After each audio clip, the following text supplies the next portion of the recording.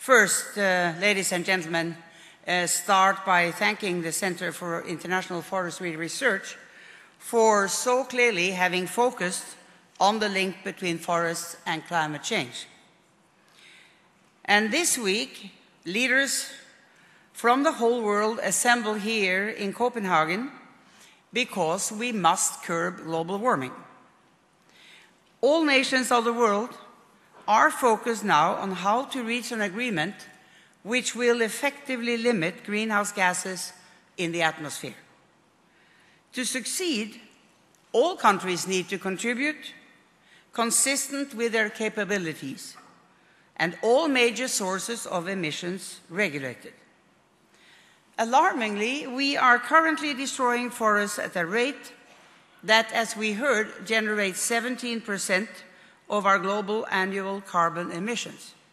This accounts for almost a fifth of global man-made greenhouse gas emissions. So it goes without saying, if deforestation continues at the current level, there is simply no way we are going to reach our target of keeping the increase in global mean temperature under 2 degrees, and not to speak of hopefully even 1.5 degrees Celsius. In contrast, by preserving and better managing our forests, global carbon emissions can be significantly and rapidly reduced at a reasonable cost while we protect the livelihoods of local communities and indigenous peoples. This will also contribute to maintaining biodiversity, rainfall patterns, and soil quality, and help countries adapt to climate change, which is already happening. Our Common Future, the report we published more than 20 years ago, was one of the first international documents to address the issue of global warming. We pointed to deforestation as a cause of global warming and warned, and I quote, that more than 11 million hectares of tropical forests are destroyed per year, and this over 30 years would amount to an area about the size of India, end of quote. I'm sorry to say that time has proven us right. According to FAO figures, there has been no observable reduction in the global deforestation rate since 1987. We are still on our way towards destroying an area the size of India by 2017. Now, on the one hand, the climate crisis can help us save the world's forests. Yes, paradoxically enough, the crisis not only can, but indeed must catalyze a salvage operation for the world's forests. If we are to survive, we simply have to stop destroying our biggest terrestrial carbon store. Scientists also warn that continued global warming could create a massive forest dieback where forests convert from being massive sinks of carbon to becoming a gigantic additional source of carbon emissions. On the other hand, forests can contribute to solving the climate crisis. Forests have to play a key role in our fight against climate change. Reports on the potential of forests in climate change mitigation indicate that stopping deforestation and promoting afforestation and reforestation could deliver 30% of the cost-effective potential. This will be important both to sustain public support over time and to minimize negative effects for the global economy.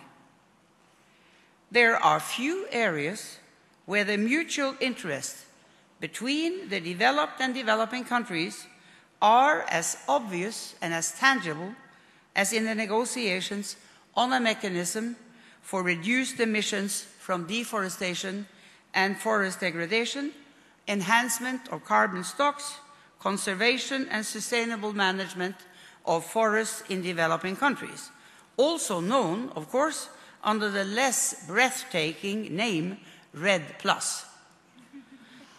Two overarching commitments um, are needed to get REDD off the ground.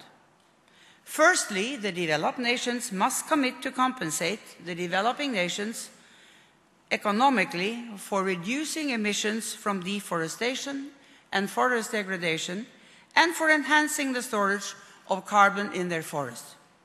Secondly, the developing nations must commit to produce these reductions in environmentally, socially, and economically sustainable ways.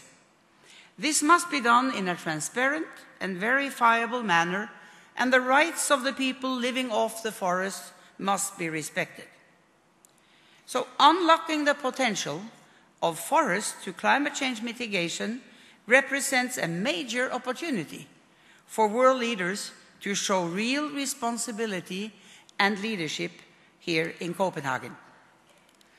There seems to be broad agreement between the parties in the negotiations that REDD Plus should be included in the post 2012 climate regime.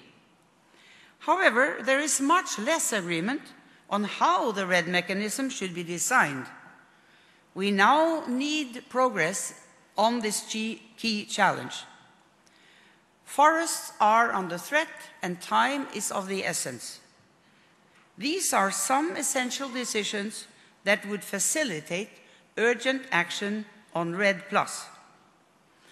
A financing mechanism to cover the upfront costs of developing countries' preparations for REDD and to pay the developing countries for verified emissions reductions from forests.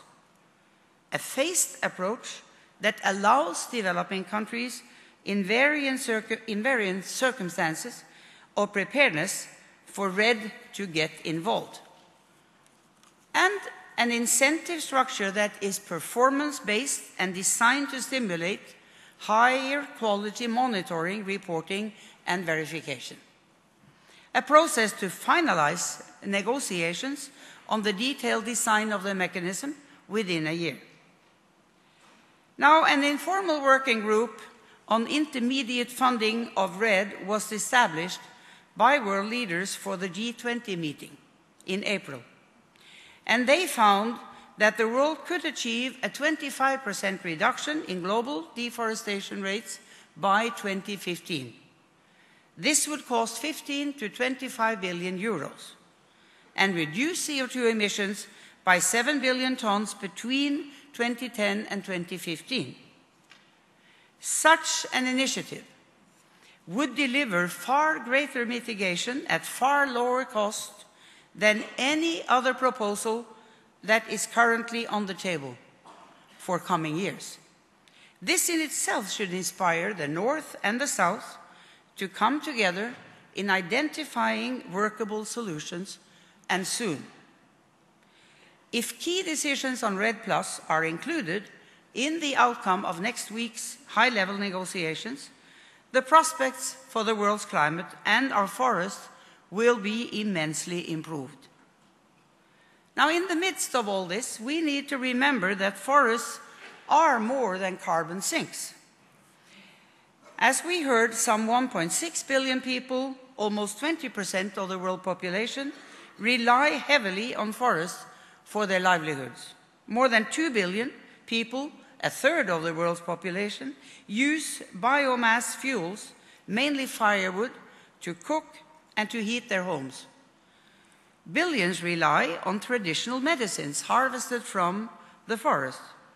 In some 60 developing countries, hunting and fishing on forested land supplies over a fifth of protein requirements. The world's forests contribute billions, if not trillions, of dollars to the global economy through biodiversity, soil conservation, and flood control.